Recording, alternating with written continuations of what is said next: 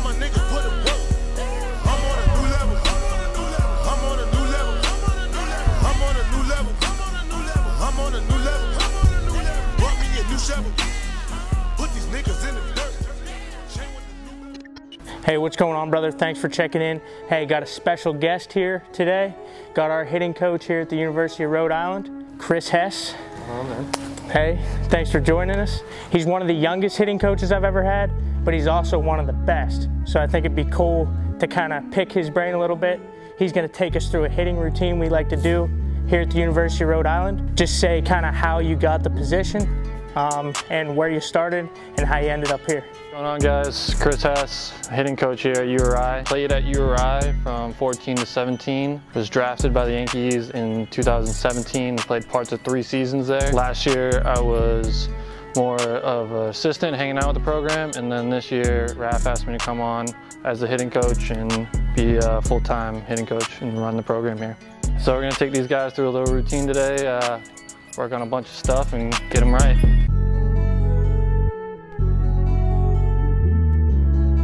over the back here, right? Get into that launch position, base here, right? We're working on sequencing. So it's hips, torso, and right now, since we don't, we're not holding the bat, right? And once we get to this position, we're just working on a good turn, stick the finish, and come back.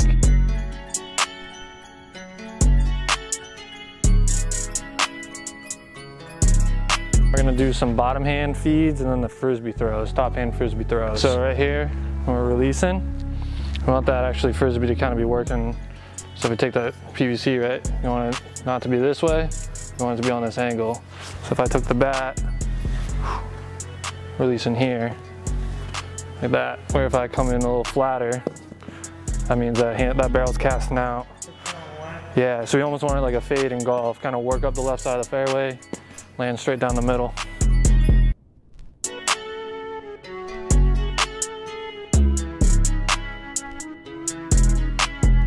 Do the bottom hand feeds.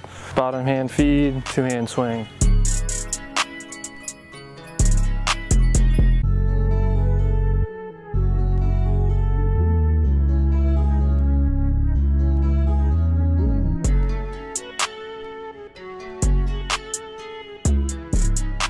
Now we got off of the block, down the block, hook 'em, and stand drill. So you're gonna set up like you're already in your most loaded position, right? There's no negative move back from here. The only move is your move forward. So we're gonna get here and get into that good athletic position and make our move. Big thing here is right, controlling that forward move with your core, right? It's like that back hip's already loaded, it's ready to go. That core keeps it engaged. As soon as that core releases, everything from that back hip pops out.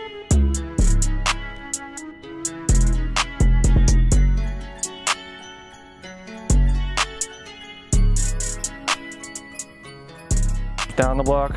So we did the opposite today. So now you're gonna stay here, right?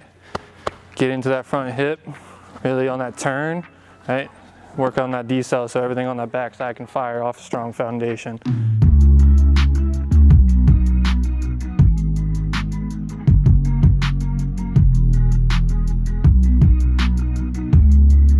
So next one, now we're kind of gonna sink it. You're gonna go across over here, right? Kind of get a little shifts to the hips. Same thing, core is controlling that forward move, hips loaded. All right, as soon as you get to this spot, boom, fire. Stay in that good athletic position.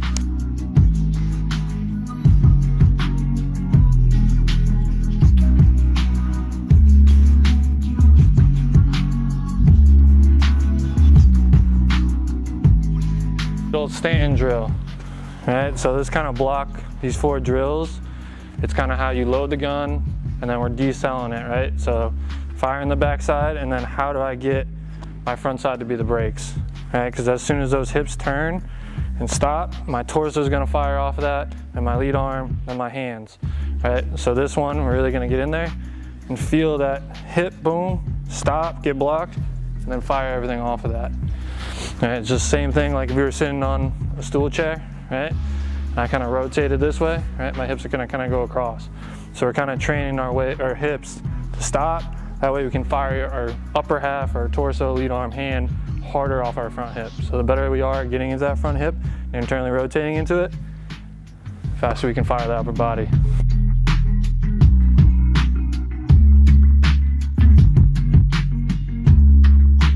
All right, now we're moving kind of out of the uh, drill work and cage work and more into like the approach based stuff. So go overhand feeds, um, five ball, three ball, mixed speeds and triangle drill. So now it's more approach based, more game like. So now we're working on actually hitting in a game situation, kind of breaking it down. All right, the mechanical stuff's kind of over. Now you're working as a hitter and not just a five o'clock hitter. All right, we're going five ball, three ball zone here, right? So your five ball zone is gonna be like an even count, a 1-1, 2-1, 0-1, 0-0, somewhere where you're not really up and ahead of the count, but you're not also behind the count. So you're gonna be a little bit larger selection for what you're trying to swing at. All right, so that could be, notice five balls here, right? This is middle in. So it cuts out that outside corner. We're looking this part of the plate. Right, same thing, we move it away. Middle away, we're cutting on the outside. If you're going straight down the middle, cuts off the corners. All right, and then we're gonna go three ball zone, which, is your plus counts.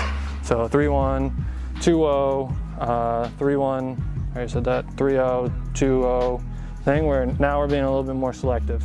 Right, so now we're looking in the zone in a specific count or specific location. All right, notice, go like this, right? I'm not gonna go middle in and all of a sudden take my three ball zone and go middle away.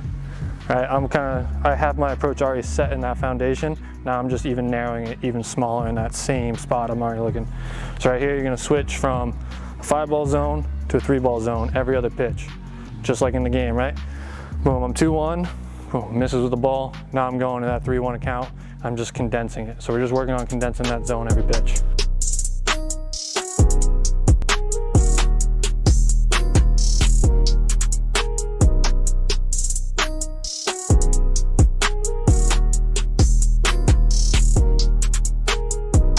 So I'm just gonna kind of work in my tight little slider, right? And fastballs. Same idea, right? Have an approach here. So like three pitches, sit on a pitch that you're looking for in your zone, and then three pitches, switch it. Same thing, hunting a pitch you can handle, right? Might not necessarily be my fastball. Right? If I'm gassing it, but I'm flipping in that slider, go ahead and hammer that thing.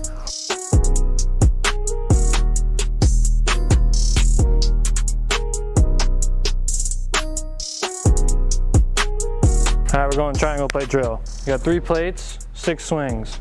Don't take two swings at the same plate, right? Bounce around, move to each plate. Different angles, different speeds here, right? You really gotta work, be on time, and be a good athlete here.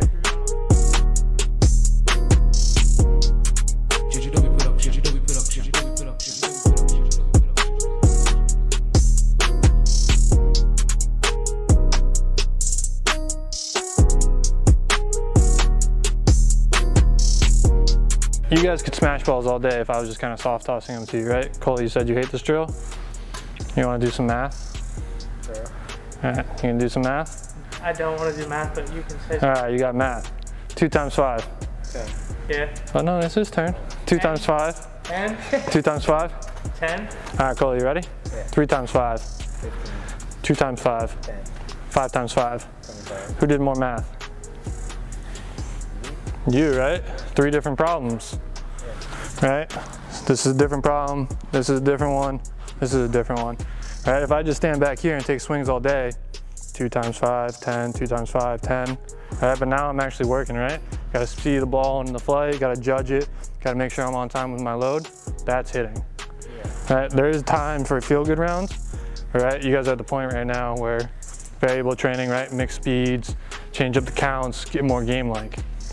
There's a time and place for the feel good, right?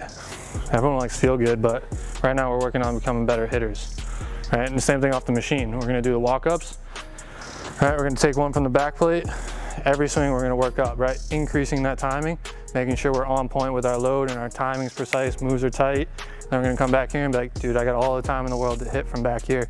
I can see that ball and I can make my move. I'm not rushed. All right, we're gonna go three plate drill off the machine or walkthroughs, like walk up on the machine, right? You're gonna take one swing at the back plate. Every swing you're gonna work up with the plates. Get here, right? And if you're really feeling ambitious, you can take another step, right? If you're getting really clean with it, right? The whole goal is to be precise with your moves, right? The closer you get to the machine, the faster it's gonna get onto, the better you gotta be at getting to the spot to hit from, right? So if I'm here, but I'm still kind of lazy with my load, I'm, I have no chance. Right? But then as you come back to this back plate, you want to maintain the same timing at the front plate back here. Now it's about time management. Right? I want to make sure I have enough time to see the ball and make a good move as opposed to trying to time it up to make sure I'm on time. Right? It's not about getting your best swing off every time. It's about how can you produce the best result even when you're not on time.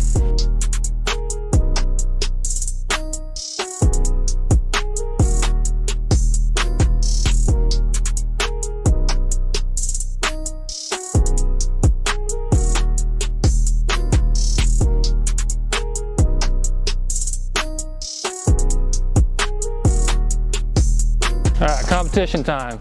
Total bases, all right?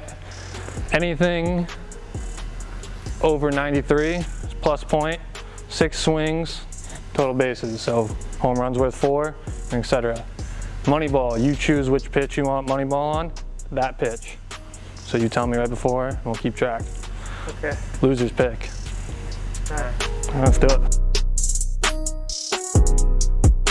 Double. 94 plus one.